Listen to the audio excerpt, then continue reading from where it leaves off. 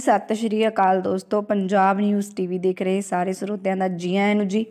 Captain Amarinder Singh Punjab ਦੇ ਲਈ ਆਇਆ ਵੱਡਾ ਐਲਾਨ।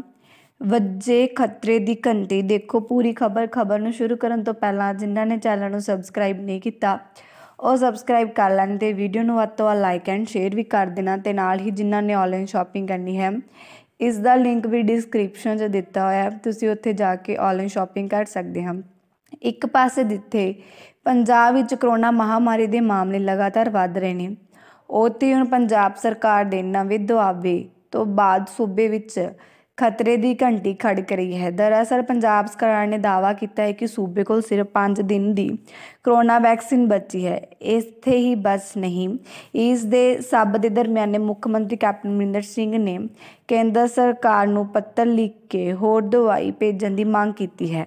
ਅੱਜ ਕਾਂਗਰਸ ਮੁਖੀ ਸੋਨੀਆ ਗਾਂਧੀ ਨੇ ਕਾਂਗਰਸੀ ਸੱਤਾਧਾਰੀ ਸੂਬਿਆਂ ਦੇ ਮੁੱਖ ਮੰਤਰੀਆਂ ਨਾਲ ਕਰੋਨਾ ਦੇ ਹਾਲਾਤ ਬਾਰੇ ਵੀਡੀਓ ਕਾਨਫਰੰਸ ਰਾਹੀਂ ਗੱਲਬਾਤ ਕੀਤੀ ਹੈ।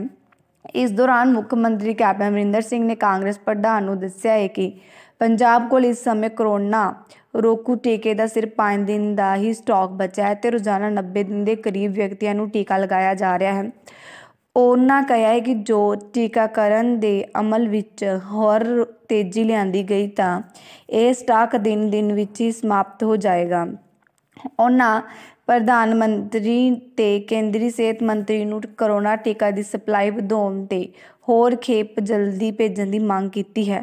ਕਰੋਨਾ ਵੈਕਸੀਨ ਲਿਆਉਣ ਤੇ ਜਲੰਧਰ ਸਿਖਰ ਤੇ ਪੰਜਾਬ ਵਿੱਚ ਇੱਕ ਪਾਸੇ ਜਿੱਥੇ ਕਰੋਨਾ ਦਾ ਕਹਿਰ ਵਧਣ ਲੱਗਾ ਹੈ, ਉੱਥੇ ਇਸ ਤੇ ਕਾਬੂ ਪਾਉਣ ਲਈ ਵੈਕਸੀਨ ਦੀ ਪ੍ਰਕਿਰਿਆ ਵਿੱਚ ਤੇਜ਼ੀ ਲਿਆਂਦੀ ਜਾ ਰਹੀ ਹੈ।